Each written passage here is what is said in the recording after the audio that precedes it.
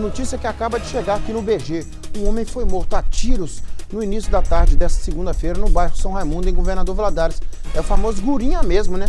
Trata-se de é, Julei, Julei, Juleis Lismar, é o nome, Juleis Lismar Luiz Lopes, de 32 anos, né? Segundo as primeiras informações, uma segunda pessoa também foi atingida por disparos de arma de fogo. A vítima foi alvejada com um tiro no pé e foi levada para o SAMU, Serviço de Atendimento Móvel de Urgência ao pronto-socorro no Hospital Municipal. Essa vítima que sobreviveu, né?